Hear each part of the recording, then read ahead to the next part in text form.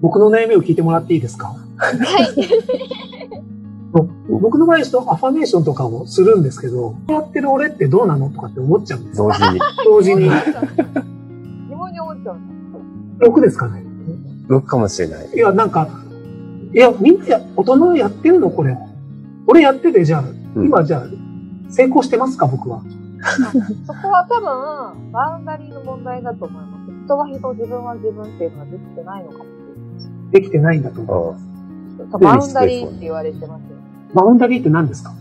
あの、心理学用語で境界線とで、例えばアドラーって心理学者有名ですけど、はいはいはい課題の分離って言い方を彼はするんですけど、ますよね。よく親が子供の問題に首突っ込んで悩んだり、あたふた動くっていうシチュエーションがある。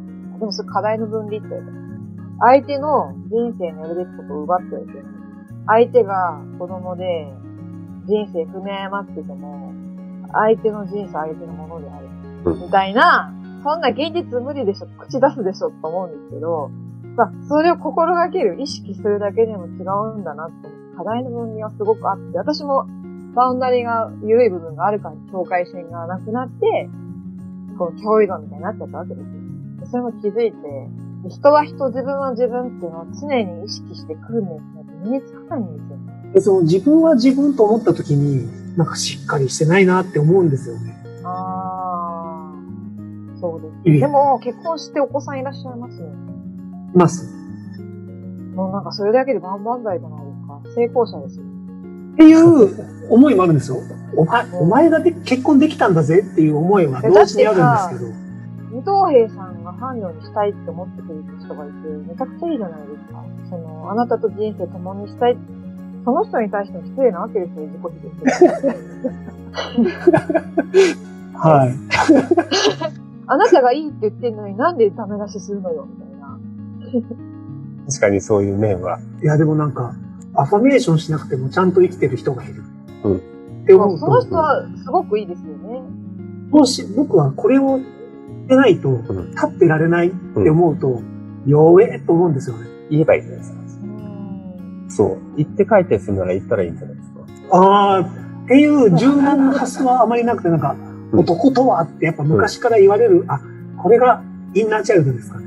要は、うん。そうですね。ここの癖に刷り込まれた。価値観。そう。刷り込まれた価値観によって苦しめられる。苦しんでるんだ、僕は。僕もでも男のくせに言われ続けましたよね。そうですよね。ねそれによって苦しんじゃうところがあると思うから、そのやっぱり内なる子供を癒すってすごい大事だなと思ったんですよね。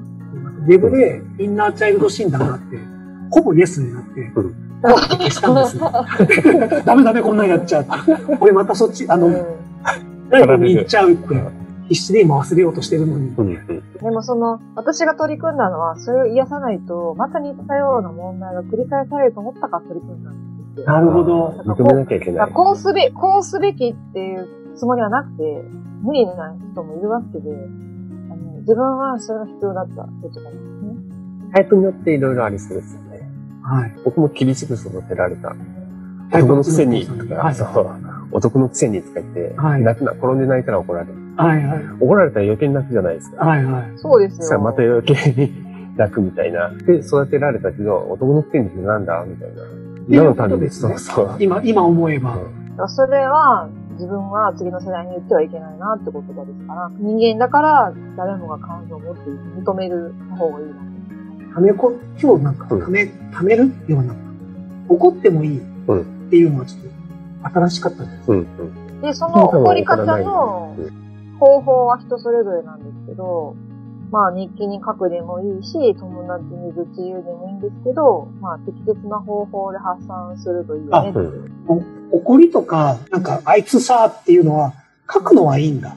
僕よく毎日日記書いてるんですけど、日記書くのはすごくいいと思います。なんか、書く自分ってどうなのって思うんですよね。なんでそこを疑問に思っちゃうの？書書きながら、なんかその、得ることとか書書こうとしたときに、あ、これ書いちゃダメだって思うんですよ。なんで？なんで？なんで？おそう。今、ごめん、今泣きそう俺。あ、これデスノート。だからその、だから、デスノートにもなってないんですよ。うんご飯を食べたぐらいしか書いてなくて、書書いていいと思いますよね。私ごめん、今俺泣きそうだ。なんでだろう。あだって、だって別に SNS に書いたら残ってやばいけど、日記は自由じゃないですか。見られないですからね。私も、その、無意識にやってたんですけど、その、二十歳ぐらいの時に、すごい母親に対して、あの、腹立ちがあって、めちゃくちゃ日記に書いてたんですよね。思うことを、ガリ造語も入ってた。てか、正論でやり込める感じのノートだったんですけど、誰も見てないから自由、自由なんですけど、うんもう、母親に対する文句がノート4冊分ぐらいになってたんですよ、1年間で。結局それで結論が自分の中で出ますよ。ああ、で、あそうす冷静になると、そう、最初は、カッカしてわーって書いてたんですけど、だんだん、あ、こういう問題が起きてるから、こうなんだなって分かってきて、じゃあこうしようとか、こういうふうに考えようとか、いうふうになってきて。陰性化？申請か。そう。申請化、その時無意識やったんですね。こうするといいよって誰も言われてないのに、日記グワーって書いてたんですよ。これあの、書くのもダメだな、ちょっと僕、ん思っていたので、うんあ、書いていいんだ。う許され。誰に許しを取ってるんだなんで俺はダメなんですか？なんでダメ、何がダメなのかしら？なんか、あ、落そういうちる気がするっていう。さそういう気分すら持ってちゃダメだうん。ってい、や、厳しすぎません？それ。で、みんな思ってるんだろうなって。思ってない、思ってない。誰もやってないだろうなとか。そんなことはないやっ。てる、やってる。でもそれ見られたら怖いですよね。っていう、まあ、っていうのもあるんですけど、奥さんが見たら誰々死ねとか。あ、死ぬとかは書かないけど、そう、だからなんか、そんなことを思う自分の黒さってどうなのとか、そういうのは、でもまいや、あ、確かに自由ですよね、それは。そう。それを、それを許さないともっと歪むって気づいた。その恨みになったり、蓄積されたり、変に歪むなって思ったから、感じるのは自由。書くのも自由。別に、書いたら破って捨てたらいいし、読まれたくなければ。感じるの。世界です。感じるのは自由ってみんな知ってますかね？見見てくださってる方。うん自由。自由なのに、ついダメな気がしちゃうなって思ってる人も一定数いて、抑えちゃうみたいな。わかる。タイプ6ですけどやってる気はします。僕はあんまりないけどね。ああ、なるほど。で、いう違いもいいっていうことで違いも、ねう。ん。で、その、とにかく自分を、しょっちゅう自分で中で褒めるって、ちっちゃなことでなんか続けると、結構まあまあ、去年、一昨年去年よりは、こう自分というものを持ててる気がするなっていうのが出てきて、だって世界中の人が私のこと嫌いでも私は自分のことを OK がいいもんみたいな心境になったんですよ。あの、あなたはあなた、私は私みたいな。もう自分は、うん世界は敵でもって僕は言えるかなと思って。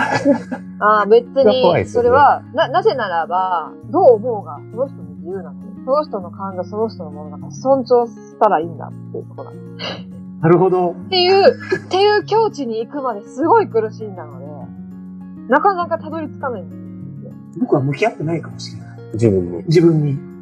で、結局は自己肯定感がキーポイントになって、それができてる人はまあまあ健全だなって、いろんな人と接してて思ったし、で、私がすごく相談する方がいて、目上の方なんです。本当にその人は自己肯定感がありつつ、ジャッジしないんですよ。すごいいいなと思ってて、その人のようになりたいなっていう人もいるので、あの、私のすごいバイブも話も冷静に聞いて、的確なこと言ってくれて、ジャッジしないんですよ。すごいと思って。決めたくはなりますよ。どっちが正義か。そう。そうそう。でも、そういうこと言わないから安心して話せるんですよ。あの、かといって私を見、その、ガリゾンを OK とは言わないけど、あの、まあ、でそこで私は沈静化して、冷静が出たみたいなこともあるし、あ結局は自分を大事にする生活をしつつ、自己肯定感を高めるってことをしてると、その相手の悪い感情も尊重することができると。嫌われようが相手が嫌いと思う気持ちも尊重できる。だって、その心は自由だもん、みたい正論。正論。な。出た正論、やだ。でも、僕も思ってます。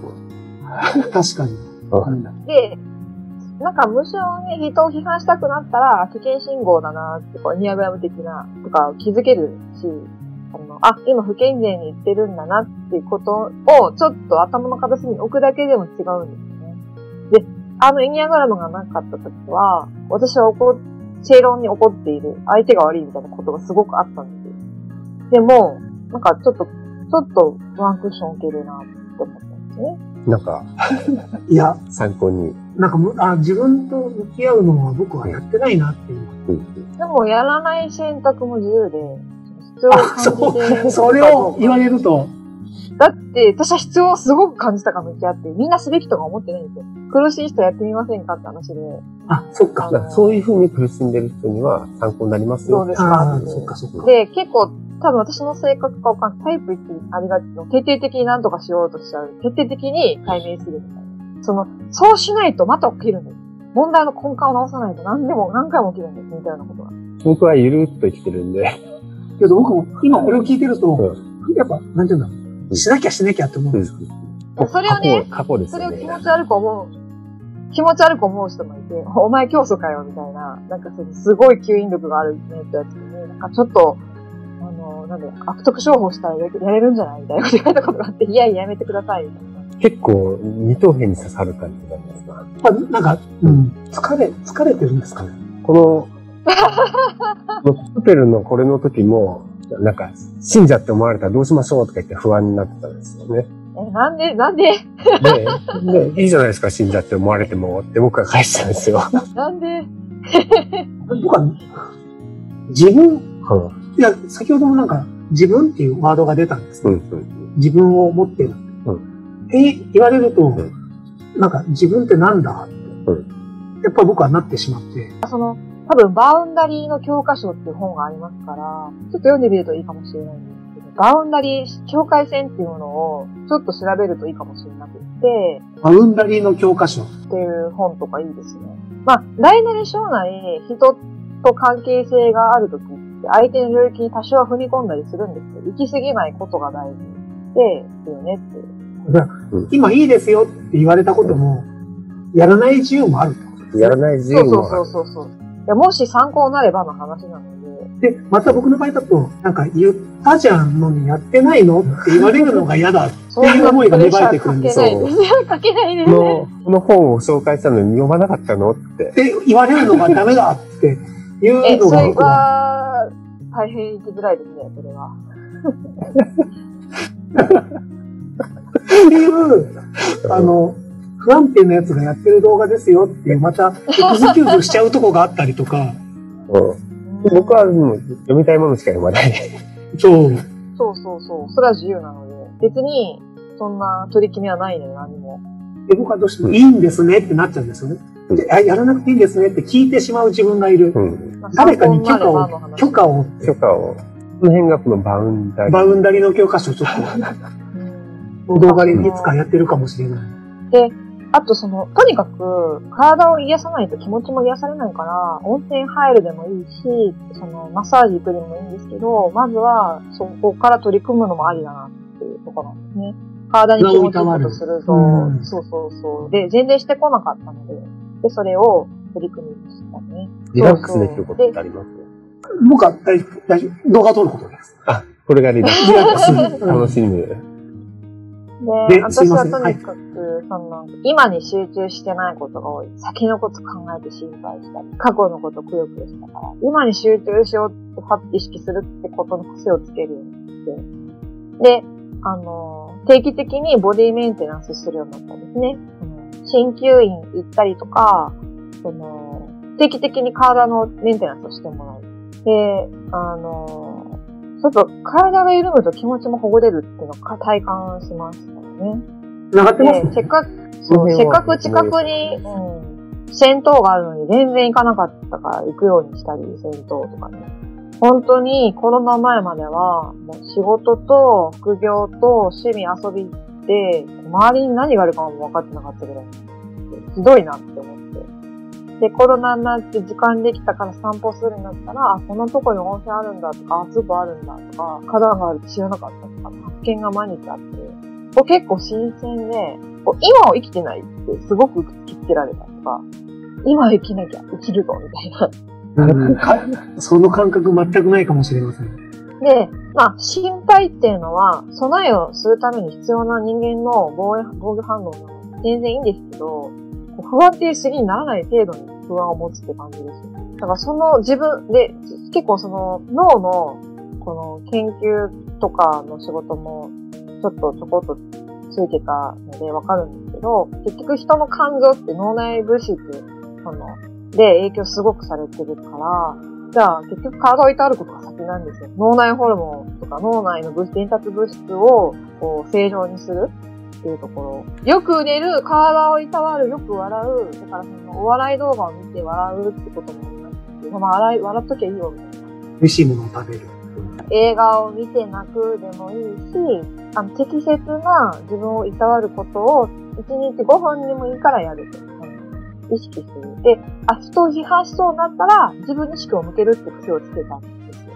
批判しそうになったら自分に意識を向けるっていうのは、人を批判しないって言ってるわけじゃないんですよね。なんで今私は批判しようとしてるのかなって見つめる。で、やっぱりタイプ1の正しければ責められないってことが反応してるんだなみたいな意識。僕だとなんだ？あいつやってない、あいつもやってないじゃん。俺こんなにやってるそう、俺やってるのにさ、あいつやってないじゃんっていうのはよく思います。じゃあ助けてくれって。あい言えばいいって話ですよね。そう私はちょっとヘルプをよく人に言います。助けてってよく言いますから。これできない。あの、タイプ6の人って、はい。私、みんなでやってるってアピールしたいのもありつつ、人がやってないと、あいつやってない。で両方、やってないっていうのもあるんですよね。うん。できてない。あ、できてない。自信がない。うんうん。で、それの思いは、乙女心は複雑です。あ、でもまあ自分に、ううん、難しいですね。自分に意識を向けると、でも自分の否定しなくていいんですよね。別に自分は。そう。そうです。だから何でも行き過ぎちゃ良くないんですよ。多分。バランスバランス。で、こういう時は、体に気持ちいいことをしてみるうんうんっ。ていうことを今まず、まずは体から入る、そうそう体が入るのもありだ。とは難しいですもんね。頭からやろうとすると。そうそうそうそう。で、やっぱ思考を行き過ぎるとしんどい。とか、休めなくても、例えばスポーツするのが好きな人はそれでもいいし、私はそのウォーキングすることがあっていたので、ひたすら歩いてて、今も歩く習慣が続いてるから4月からよかったなと思って、あと寝ましょう。で、でよよく寝る、よく寝る。トイレを掃除したって書いてあるんですけど、はい。なんか、朝のモーニングルーチンとかよく YouTube であるんですけど、運を、運気を上げる行動に、それが入ってて、なんか、ある方の運気が上げる行動に、まあ朝起きたら、顔洗ったら自分をまず褒める。で、次にトイレ掃除して、朝、ゴミ出しの時に挨拶するみたいなのが書いてあって、あ、真似しようと思って、朝、顔洗って自分を褒めた後にトイレ掃除するっていうのをやったんですよ。を続けてるみたいな。感じですか、トイレ掃除は。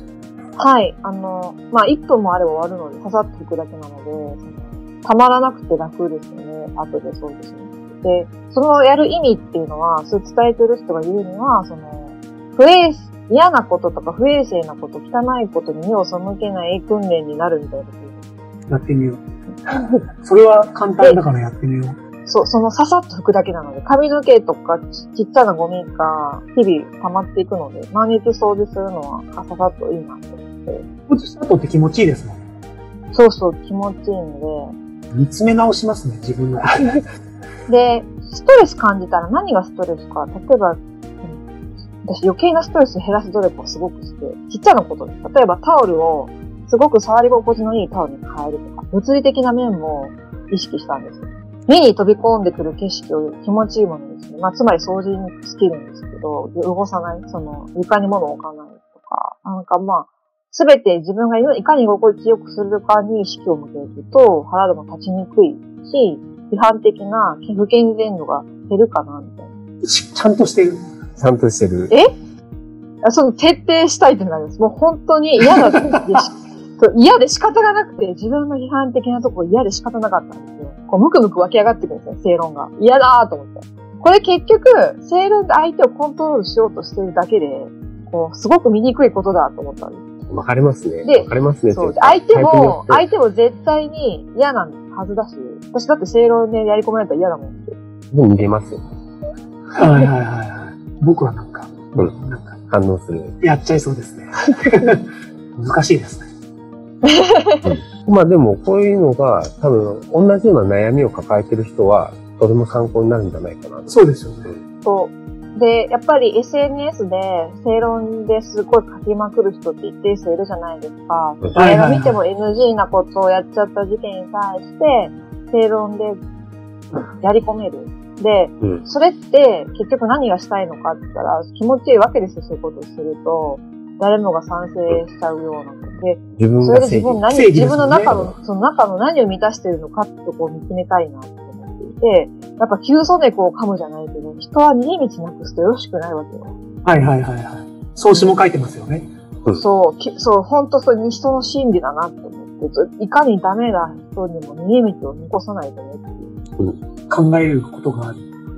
なんか深く刺さる、今そうですね。深く刺さってる感じ。そうですね。